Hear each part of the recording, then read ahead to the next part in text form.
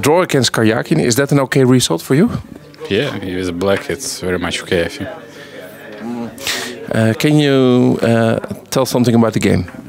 Uh, it was an interesting game because okay after b3 yeah, I don't know it was move 9 or move 10 I was uh, I just started to play uh, by my own because I didn't know that uh, that move because uh, white has a lot of different possibilities but b3 exactly what what I didn't probably analyze I never analyzed.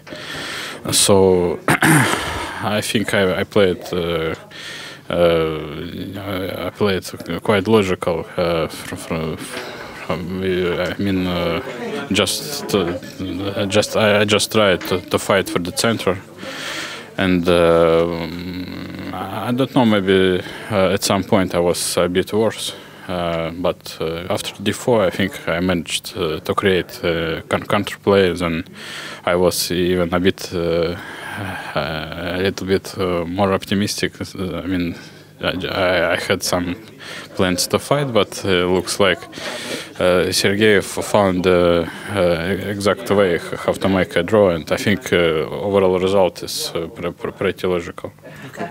Well, three and a half out of six everything is possible yet in the tournament. Yeah, yeah. Okay, good luck. Thank you.